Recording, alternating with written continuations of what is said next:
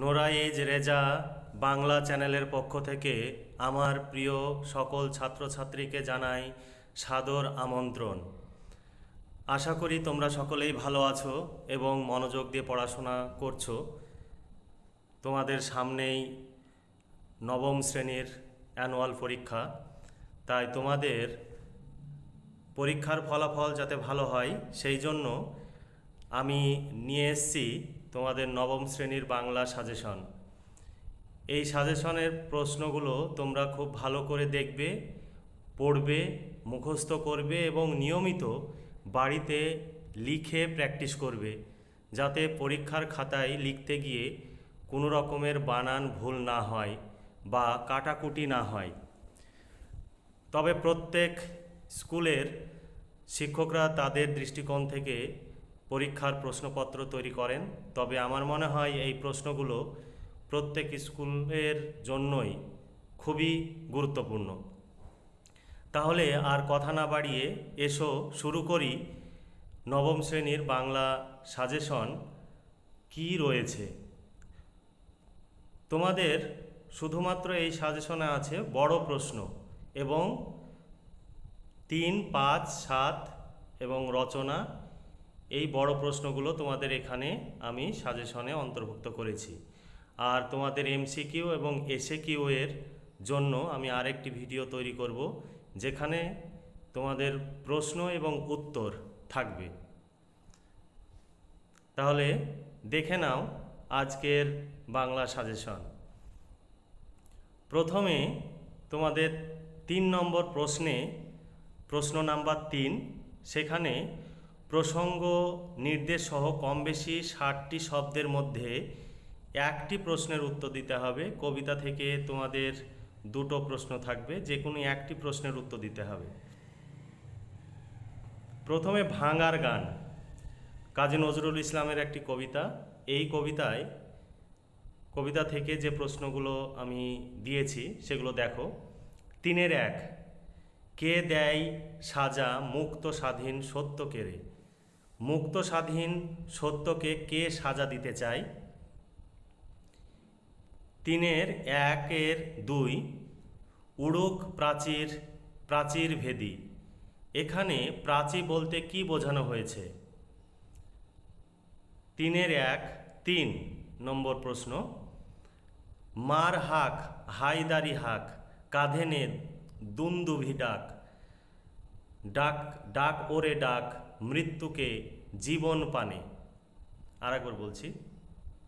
মার হাক হাইদারি হাক কাঁধে নে দুন্দুভি ঢাক, ডাক ওরে ডাক, মৃত্যুকে জীবন পানে। এখানে কাকে জীবন পানে ডাকার কথা বলা হয়েছে, নিজের ভাষায় লেখো। আমরা কবিতা থেকে। আমাদেরই এই কুটিরে দেখেছি মানুষের ঠাকুরালি। আমাদের কুটিরে মানুষের ঠাকুরালি দেখা গেছে কীভাবে? তিনের এক, পাঁচ নম্বর প্রশ্ন, এক হাতে মোরা মগেরে রেখেছি, মোঘলেরে আর এক হাতে। বাঙালিদের মগ মোঘলদের বিরুদ্ধে সংগ্রামের পরিচয়টি তুলে ধরো। আকাশে সাতটি তারা, কবিতা থেকে প্রশ্ন। পৃথিবীর কোন পথে এ কন্যারে দেখিনি কো? উক্তিটির নিহিতার্থ ব্যাখ্যা করো। আর একটি প্রশ্ন, আমি এই ঘাসে বসে থাকি, আমি কে? তার ঘাসে বসে থাকার কারণ কি? তারপরে তিনের দুই নম্বর প্রশ্ন প্রসঙ্গ নির্দেশ সহ কম বেশি ষাটটি শব্দে একটি প্রশ্নের উত্তর দাও। এখানে ছোট গল্প থেকে, ছোট গল্প প্রথমে দাম দাম গল্পে তিনের, দুইয়ের এক নম্বর প্রশ্ন, প্লেটো কে ছিলেন, তার দোরগোড়ায় কি লেখা ছিল? তিনের, দুইয়ের দুই নম্বর প্রশ্ন, স্কুলে কি বিভীষিকায় যে ছিলেন ভদ্রলোক কে কেন বিভীষিকা হয়ে উঠেছিলেন? তিনের দুইয়ের তিন নম্বর প্রশ্ন, সভায় জাকিয়ে বক্তৃতা করা গেল, সভার বক্তৃতার বর্ণনা দাও। এবার ইলিয়াস গল্প থেকে, তিনটি প্রশ্ন, তিনের দুইয়ের চার নম্বর প্রশ্ন, ওর তো মোর বাড়ি দরকার নেই, কার সম্পর্কে এমন কথা বলা হয়েছে? এমন কথা বলার কারণ কি? তিনের দুইয়ের পাঁচ নম্বর প্রশ্ন, প্রতি বছরই তার অবস্থার উন্নতি হতে লাগল। কার অবস্থার কীভাবে উন্নতি হতে লাগল? তিনের দুইয়ের ছয় নম্বর প্রশ্ন, আমি সত্য কথাই বলছি, তামাশা করছি না। উদ্ধৃতাংশের তাৎপর্য ব্যাখ্যা করো। এরপরে রাধারানী গল্প থেকে প্রশ্ন, তিন নম্বরের প্রশ্ন। তিনের দুয়ের ছয় নম্বর প্রশ্ন, এক পয়সার বনফুলের মালা, মালার সকল কথাই বাহির করিয়া লইল। কে কোন কথা বের করে নিয়েছিল? তিনের, দুয়ের আট নম্বর প্রশ্ন, রাধারানীকে অপরিচিত ব্যক্তিটি কি কি ভাবে সাহায্য করেছিল? রাধারানী থেকে আর একটি প্রশ্ন। আমি বলি, তোমাদের কুটুম্ব বক্তাকে কোন প্রসঙ্গে তিনি এমন মন্তব্য করেছেন? এরপরে চার নম্বর চার নম্বর প্রশ্ন, চারের এক এক নম্বর প্রশ্ন, অর্থাৎ এটা এবার শুরু হচ্ছে পাঁচ মার্কের প্রশ্ন। এখানে তোমাদেরকে কম বেশি দেড়শো শব্দের মধ্যে একটি প্রশ্নের উত্তর দিতে হবে। তোমরা এই পাঁচ মার্কের প্রশ্নগুলো চেষ্টা করবে দেড়শো শব্দের মধ্যে উত্তরটা কমপ্লিট করার। প্রবন্ধ থেকে তোমাদের প্রশ্ন, চিঠি প্রবন্ধ। চারের একের এক নম্বর প্রশ্ন, তুমি ঠিক সেই রূপ নারী যাকে আজ প্রয়োজন, কাকে উদ্দেশ্য করে বক্তার এই উক্তি, তার কোন কোন গুণ বক্তা উপলব্ধি করেছিলেন? তাকে আজ কেন প্রয়োজন বলে বক্তা মনে করেছেন? তারপরে চিঠি থেকে আরেকটি প্রশ্ন, চারের একের দুইয়ের প্রশ্ন, দুই নম্বর প্রশ্ন। চিঠি প্রবন্ধে বিবেকানন্দের স্বদেশ প্রেমের যে পরিচয় পাওয়া যায়, তা নিজের ভাষায় লেখো। চারের একের তিন নম্বর প্রশ্ন মরদ কি বাত, হাতি কা দাঁত? কথাটির অর্থ কি? কোন প্রসঙ্গে উক্তিটি প্রয়োগ করা হয়েছে? উক্তিটির মধ্য দিয়ে বক্তার যে মানসিকতার প্রকাশ ঘটেছে, তা লেখো। এরপর নবনব সৃষ্টি। নবনব সৃষ্টি থেকে তিনটি প্রশ্ন আছে। প্রথম প্রশ্ন, চারের একের চার নম্বর প্রশ্ন। বর্তমান যুগের ইংরেজি ও বাংলা আত্মনির্ভরশীল নয়। নবনব সৃষ্টি প্রবন্ধে প্রাবন্ধিক কীভাবে এই সিদ্ধান্তে উপনীত হয়েছেন তা লেখো। চারের এক, একের পাঁচ নম্বর প্রশ্ন, নবনব সৃষ্টি প্রবন্ধ অবলম্বনে বাংলা ভাষার মধ্যে অন্যান্য ভাষার শব্দের প্রবেশের মাধ্যমে নতুন নতুন ভাষা ও সাহিত্য সৃষ্টি প্রসঙ্গে লেখকের বক্তব্য সংক্ষেপে বুঝিয়ে দাও। তারপরে আরেকটি প্রশ্ন নবনব সৃষ্টি থেকে, চারের এক, ছয় নম্বর প্রশ্ন। ধর্ম বদলালে জাতির চরিত্র বদলায় না। কোন কোন ধর্মের কথা বলা হয়েছে? লেখক এর, লেখকের এমন মন্তব্যের কারণ কি?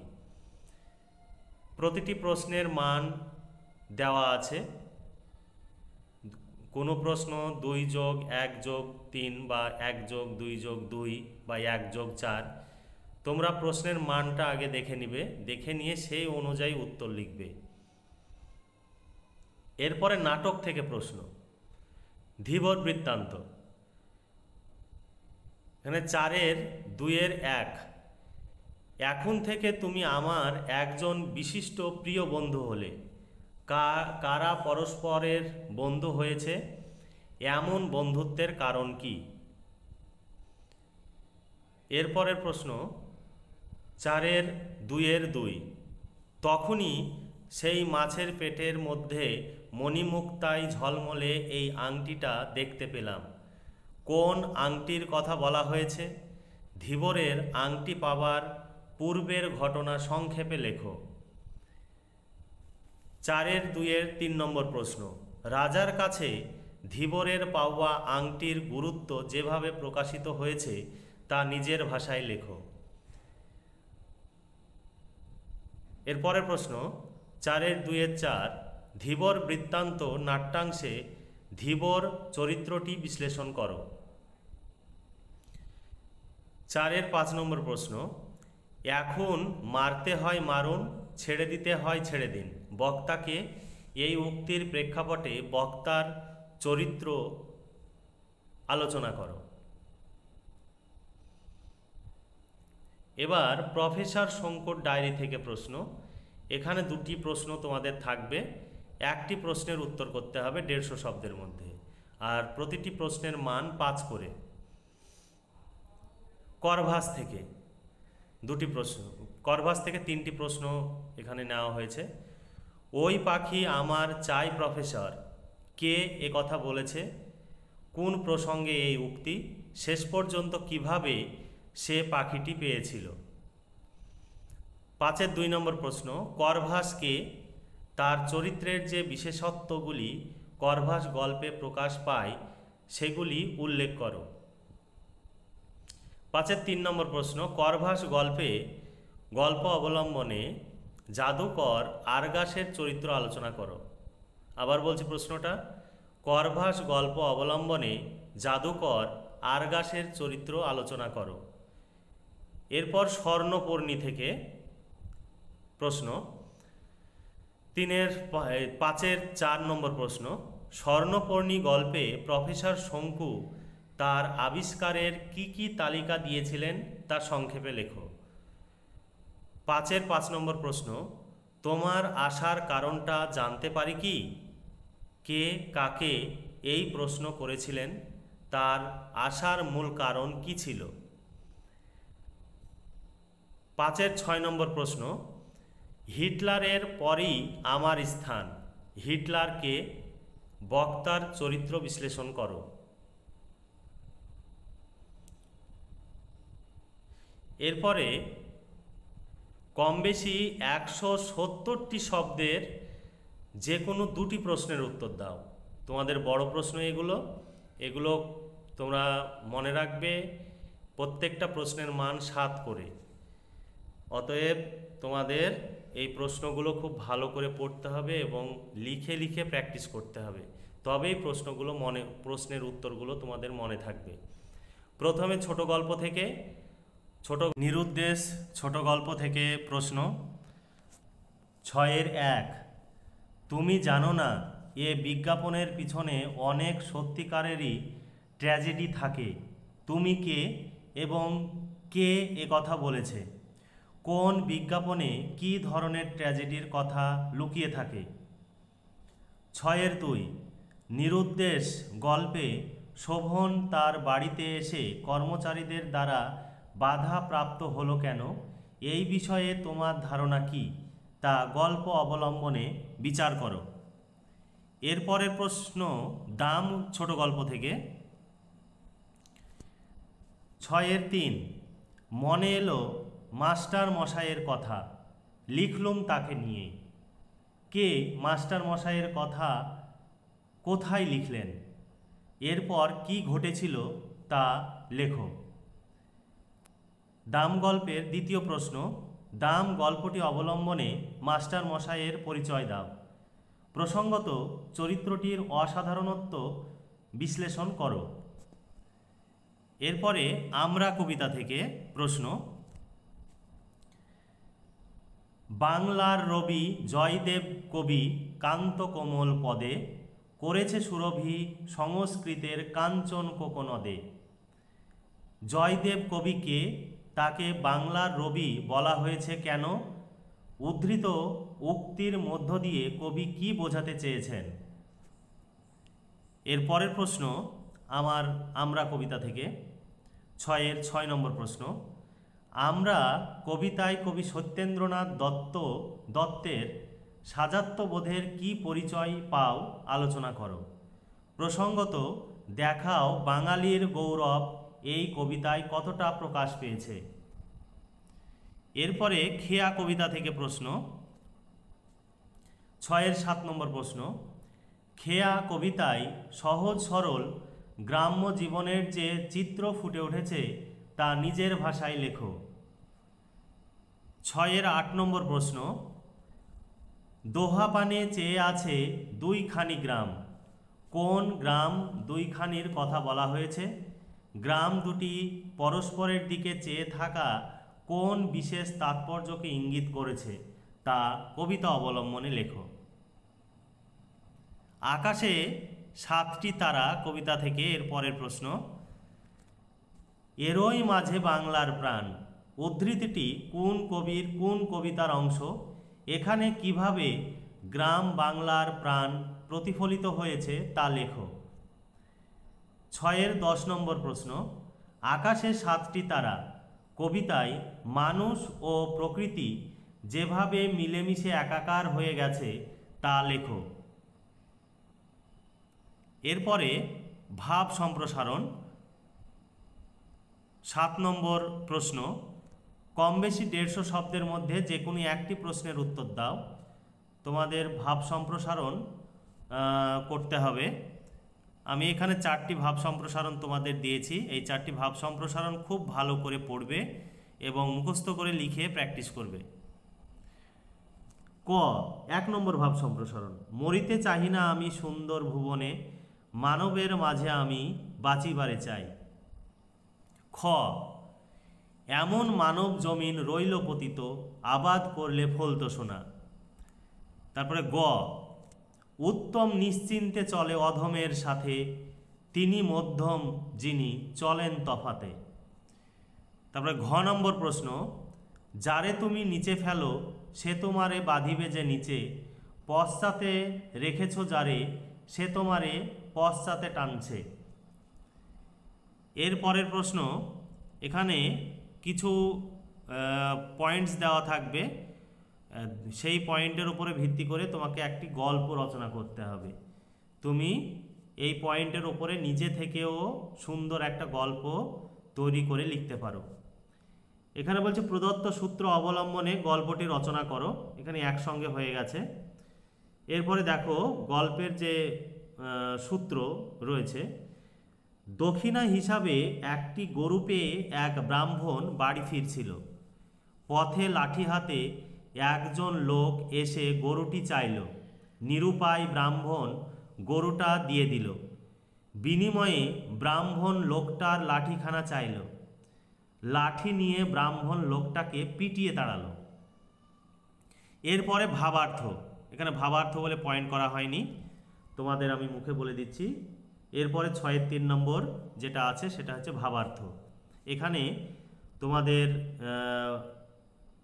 ভাবের এখানে একটু বিস্তার ঘটিয়ে একটা বিষয় আছে, সেটাকে খুব সুন্দর করে মূল ভাবটুকু চার পাঁচ লাইনের মধ্যে তোমাদেরকে লিখতে হবে। ছয় তিন নম্বর, ভাবার্থ, আমাদের লক্ষ্য হইবে এক, কিন্তু পথ হইবে বহুমুখী। যে দুর্ধর্ষ, সে কালবৈশাখীর কেতন উড়াইয়া অসম্ভবের অভিশাপে যাত্রা করুক। যে বীর, তাহার জন্য রহিয়াছে সংগ্রাম ক্ষেত্র। যে কর্মী তাহার জন্য পড়িয়া রহিয়াছে কর্মের বিপুল উপত্যকা। কিন্তু যে ধ্যানী, সে সুন্দরের পূজারী, সে কল্প শাখায় ভর করিয়া উড়িয়া যাক স্বপ্নলোকের উদার নিঃসীম নীলাভে। সেই স্বপ্নপুরী হইতে সে যে স্বপন কুমারীকে, রূপ কুমারীকে জয় করিয়া আনিবে, তাহার লাবণীতে আমাদের কর্মক্লান্ত খুন ক্ষণগুলি স্নিগ্ধ হইয়া উঠিবে। সে গাইতে জানে, গানের পাখি যে তাহাকে ছাড়িয়া দিব দূর বিথরে বনানীর কোলে। আমাদের আশেপাশে ফিরিয়া আমাদের অবসাদ ক্লিষ্ট মুহূর্তকে সে গানে গানে ভরিয়া তুলিবে। প্রাণে নব প্রেরণার সঞ্চার করিবে। বিহারা, আমাদের সুন্দর সাথী। তাহলে এটা ভাব ভাবার্থ, তোমরা এটার ভাবার্থ লিখে রাখবে খাতায় এবং মুখস্থ করে প্র্যাকটিস করবে। এরপরে প্রবন্ধ রচনা। তোমাদের প্রবন্ধ রচনা, আমি এখানে সাতটি প্রবন্ধ রচনা সিলেক্ট করেছি। এই সাতটি প্রবন্ধ রচনা তোমরা যদি পড়ো, তাহলে তোমাদের কমন আসবেই। এটা তোমরা সুনিশ্চিত থাকতে পারো। এক নম্বর, তোমাদের প্রবন্ধ রচনা করতে হবে চারশো শব্দের মধ্যে। তোমরা চেষ্টা করবে প্রবন্ধগুলো চারশো শব্দের মধ্যে লেখার। সাতের এক নম্বর প্রবন্ধ, চরিত্র গঠনে খেলাধুলার ভূমিকা, দুই নম্বর, বাংলার উৎসব, তিন নম্বর, বিজ্ঞানের জয়যাত্রা ও মানুষের ভবিষ্যৎ, চার নম্বর, দেশ ভ্রমণের আনন্দ ও শিক্ষা অথবা একটি ভ্রমণের অভিজ্ঞতা। এই দুটো একই উত্তর। তোমার চোখে আমার বিদ্যালয় আর সাতের ছয় বিজ্ঞান ও কুসংস্কার। আর সাতের সাত পরিবেশ সচেতনতা বৃদ্ধিতে ছাত্রছাত্রীদের ভূমিকা। তাহলে এই সাতটি প্রবন্ধ তোমরা খুব ভালোভাবে পড়বে।